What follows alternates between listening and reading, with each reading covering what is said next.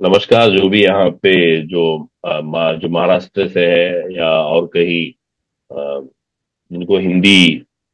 मतलब हिंदी से मुझे कम्युनिकेट करना है, उनको नमस्कार। मेरा कहना यही था इन शॉर्ट जो पेरियार ईवे रामास्वामी जो है, उनका अपना पूरा लाइफ भर उन्होंने जो प्रचार किया है,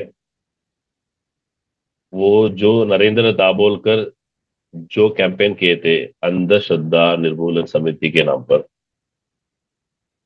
वही उसी आइडियोलॉजी का प्रचार करते हुए पेरियार तमिलनाडु को बेटर प्लेस बनाए। मगर नरेंद्र दाभोलकर का भी उन्हीं, वही काम था जिसकी वजह से वो मारे गए। जो मारे, जो उनका मर्डर के उनका, वो संस्था का नाम पता है, जो अभी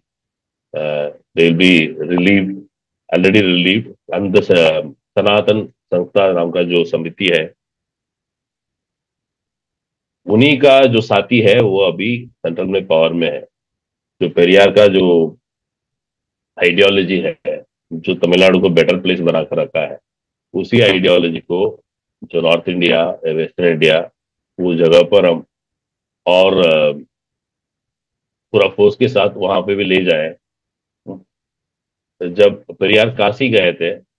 वहाँ पर पेरियार जो नॉर्थ इंडियंस के बीच में एक स्पीच दिए थे रामायण के बारे में, उस वो स्पीच को यहाँ के जो अरिंजर अन्ना जो हम कहते हैं, यहाँ के जो 1967 में जो चीफ मिनिस्टर बने हमारा लीडर वो ही उन्होंने ही ट्रांसलेट किए थे। वो स्पीच के दौरान वहाँ के जो स्टूडेंट्स थे स्पीच के बाद उन्होंने जय रावण करके जय जयकार किए उस तरह पेरियार का जो प्रोपगेशन है, या पेरियार ने जो भी प्रचार किया है, वो नॉर्थ में भी स्प्रेड कर सकते हैं। अगर यहाँ पे जो हिंदी समझने वाले या हिंदी में लिखने वाले जो हमें ट्रांसलेशन वगैरह में हेल्प कर सकते हैं तो हम साथ में पेरियार का जो आइडियोलॉजी है, उसको नॉर्थ में भी हम स्प्रेड करने की कोशिश करेंगे।